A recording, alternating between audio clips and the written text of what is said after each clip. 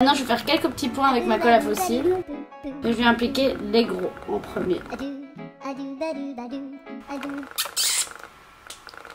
Bon, du coup, maintenant, quelques points pour les petits. Pour voir où j'ai mis mes points de colle, ce que je fais, c'est que je tourne la tête pour avoir la lumière sur le point. En général, je le trouve parce qu'il luit un peu. Très sympa. Perfetto. Ah, c'est trop mignon. C'est cute. C'est cute d'eau. Et maintenant, les petits, petits, petits. Waouh. Incredible. C'est joli, non? Ce que j'utilise pour coller les perles, c'est ceci. C'est un crayon avec de la cire dessus. Et en fait, la cire accroche la perle et du coup, elle bouge pas. C'est aussi une astuce de nail art. Mmh. Eh, Chante bien, hein Ouais, je sais. Est-ce que je teste de faire une bouche blanche? J'ai très peur de ce que ça va donner, mais je pourrais essayer. Je vais tester avec le blanc, je pense que ça va.